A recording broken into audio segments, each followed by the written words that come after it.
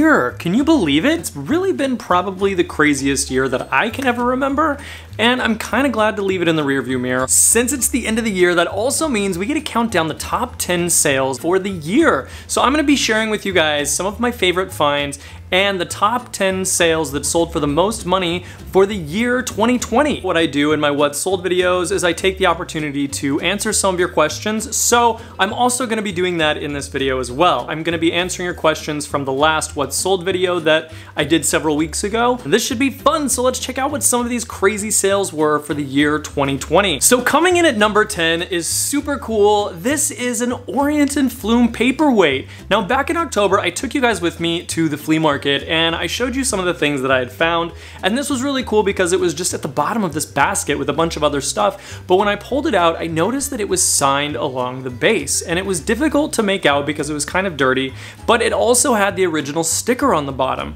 Now this was really cool because it's one of their more rare designs but Orient and Flume is a company that started in California and now they're in New York. They make all kinds of really amazing art glass pieces. They have vases and figurines and paperweights but this particular paperweight was incredibly valuable. I paid less than $5 for this and it actually ended up selling for $275. So this was actually a really easy piece to spot because it had the sticker on the base, but not all art glass and crystal pieces are gonna have the original sticker still on them. So this is perfect for our first question. TBFCCO says, to help save some time from searching through past videos, how do you recognize good crystal?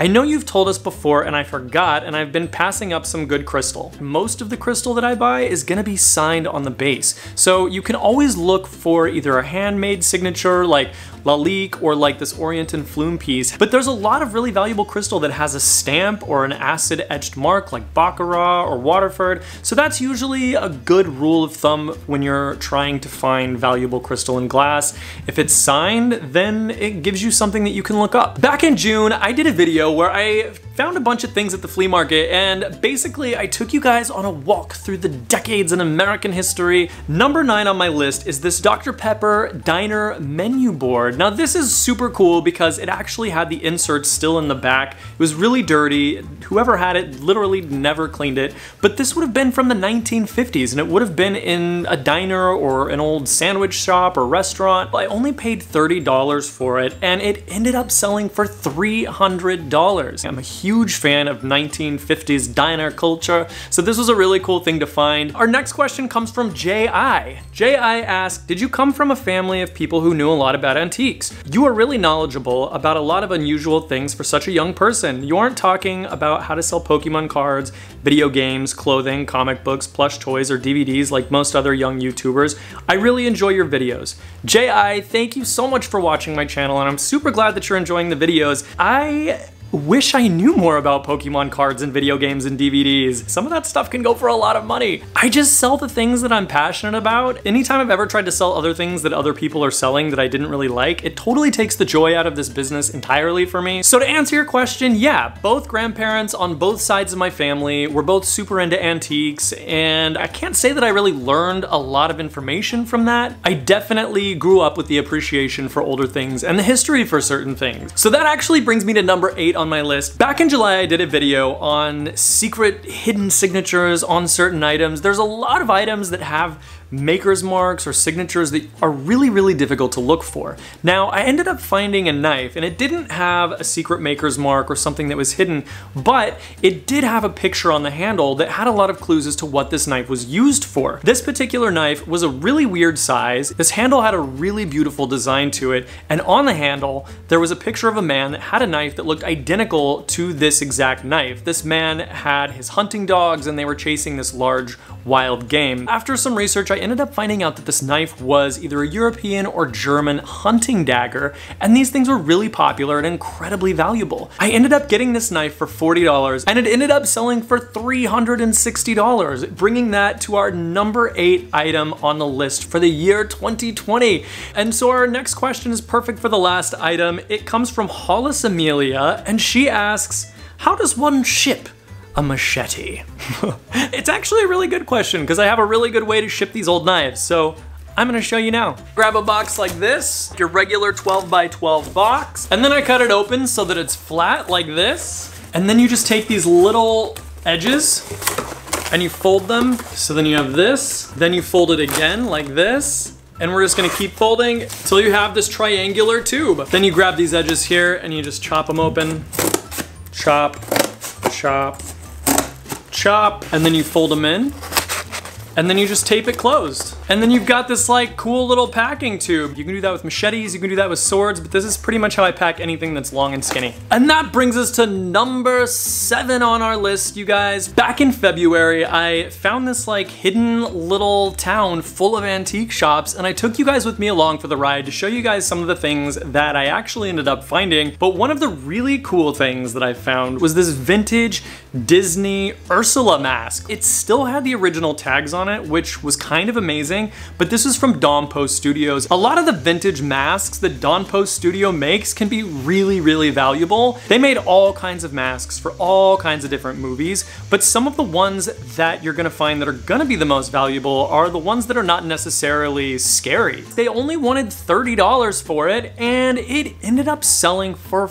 $400. That, you guys, is my number seven find for 2020. And so the next question comes from Hungry Asian Boy. He says, I'm curious to know how you started picking. When did it all start? What was the first sale or your first biggest sale? Do you watch other thrifting channels? Lastly, what keeps you motivated? Also, I'd like to see a day in the life of video of what you do on your days off when you're not picking. I do a lot of this. Like I do a lot of picking, a lot of shipping, a lot of packing, a lot of photos, a lot of listing. It's kind of a lot. And that's kind of also what keeps me motivated. I love going out there and trying to find crazy cool things all the time. And I do watch other reselling channels. Some of my favorites are Thrift School, Antique Nomad, Nurse Flipper, and The Crazy Lamp Lady. I just feel like they have a lot of cool things that I enjoy learning about. Hungry Asian Boy, thank you for watching and thank you for your question. That takes us to number six on my list. And this was actually something that I found last year,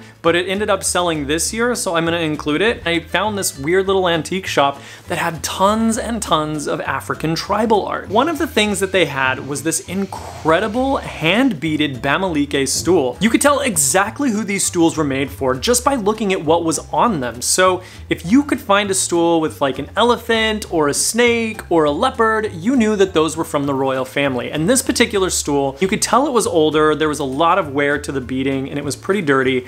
And this actually had a leopard on it, so this one would have been a stool that belonged to the royal family. So this was a really, really cool find. I think I paid under $100 for this and it ended up selling for $400. So that one is going to be my number six pick for 2020. Be More Ben actually has a question about tribal art and Be More Ben says, what tribal art do you find more collectible country-wise? Like African, South American, Philippines? What area should someone focus in if they're not really familiar? I would say certain cultures have more research material that's available online. So if you're just starting out, there's a lot of information available on African art. Some of the other indigenous tribes like in South America can be really, really difficult to research just because there's not a lot available to really look up. There's a lot of really incredible tribes and little subcultures throughout Africa. So it's really interesting and there's really amazing history with all of these different tribes. So it's kind of an exciting culture if you wanted to dive into one. That would probably be the one that I would recommend. Some of you guys know I'm kind of obsessed with beer lights. This one was just sitting on this table. I think they only wanted $80 for it. So number five on my list, this is a Hamm's beer light. So this is one of those incredibly valuable brands. So if you can ever find one from this company, they usually go for quite a bit. This ended up selling for $446. So this was definitely a really good find and that one is going to be my number five pick for 2020. Next up, coming in at number four, I ended up going to this antique shop and they had a lot of really incredible things. One of the things that I ended up getting was this vintage Bolex camera. This was really incredible because it had all of these original lenses still attached, which is really, really difficult to come by. If you can find them with all of the lenses on them like this, they can go for a little bit more. They wanted $150 for this, which seems like a lot, but this ended up selling for $477. So I was very excited to make this on my 2020 list. Coming in at number three on my list, I took you guys to an antique lighting store back in July, and it's really difficult at a store that specializes in anything to find something that you're gonna be able to resell for more money. But what I ended up finding was incredible because this is an antique Handel lamp. It's really difficult to find Handel lamps like this because a lot of these shades didn't survive and it's difficult to find the maker's mark on these because they just kind of blend in and they just kind of put them on random places on the lamp. They wanted $125 for this, which I gladly paid, and this ended up selling within the first week for $550. So this was really exciting and I'd actually never found a complete Handel lamp like this before. I had found the shades or I had found the base, but to find a complete lamp like this was super exciting. So the next question I have comes from Sue Crane. Now Sue Crane, you are not alone. I got a lot of questions about shipping. It looks like a lot of you guys are really interested in how I ship some of these giant items. And Sue asks, how in the world did you ship that heavy antique firebox and don't tell me very carefully. So for those of you guys that didn't see the original video that Sue is asking about, there was an antique firebox that's made completely out of cast iron,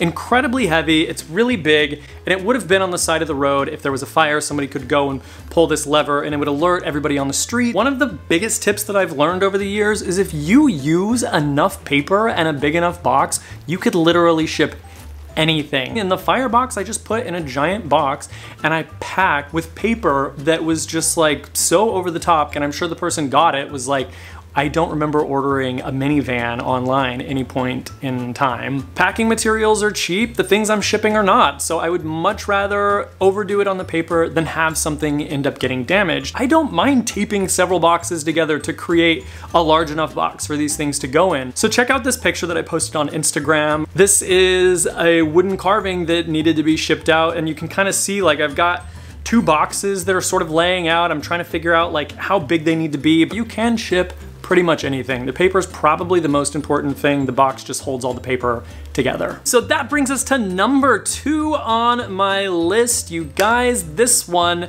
is definitely coming out of left field. It's just crazy that this ended up being number two this year. I went to this super creepy estate sale. Some of you guys might remember I found a blood-stained pillow in the vent in the ceiling.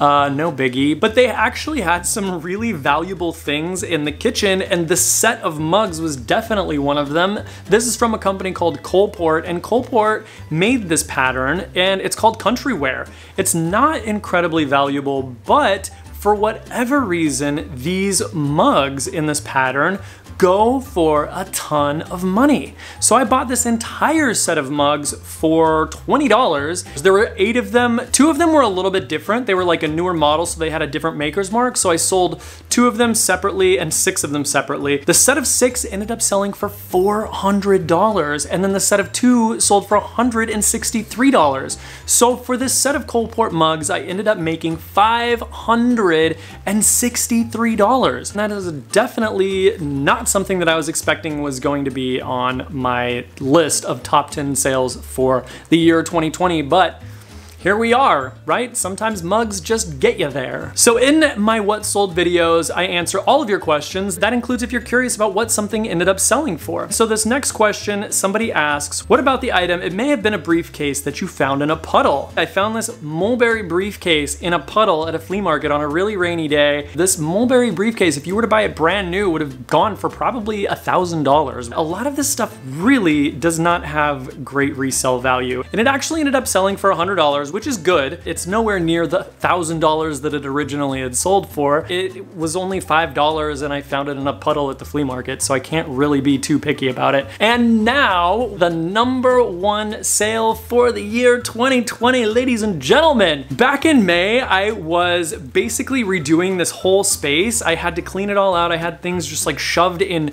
nooks and crannies and shelves and things I'd completely forgotten about. And one of the things that I ended up finding and was like, oh, oh, I still have that, I better get that listed, were these incredible pottery masks. They were really valuable, they were really breakable and really delicate, so I think that's probably why I had put off listing them. I paid $100 for the pair, so they were $50 each. Somebody ended up buying the pair for $625. I was kind of terrified to ship them, but everything ended up going fine. They got to where they needed to go safely and securely, and the customer was super happy with them. Those were the best sales for 2020. We had a really weird year this year, so hopefully 2021 is going to be amazing. I wanna hear from you guys. Any questions that you guys might have, I'm gonna be answering again in the next What Sold video. Leave your question in the comment section below if you're curious about what something sold for that you've seen on the channel or any question at all, I'm happy to answer. I'm super excited to read your responses. If you haven't hit that subscribe button yet, make sure you do it now so you don't miss future episodes. And as always, thank you guys for watching and I hope you have a wonderful day.